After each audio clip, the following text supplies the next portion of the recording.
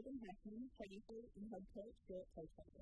And today we're going to talk about some items that are super helpful once you finish your training and you're ready to race. First, I'm going to choices. The choices come in one and two conceptions, and they're essentially a pair that you can wear for a swim, bike, and run. We're going to drive really the first swim, and have a little time keep you comfortable on the bike. You can be amazed at the difference that this will make on your side. Of comfort, um, something like undergrad, if you have FaceTime, or some kind of similar stay, to put around the armholes of your seat, maybe on the neck, if there's a screen, um, against the screen. In places where travel's going to be rubbing against skin, it's really useful to have something like this to help prevent choking on the skull. Wet skin and then fabric can be a recipe for disaster. This can happen very fast. Next, speed laces.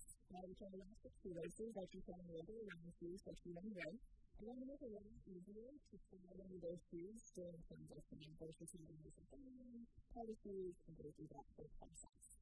And then one thing I a lot of people using in those shoes is a transition bag.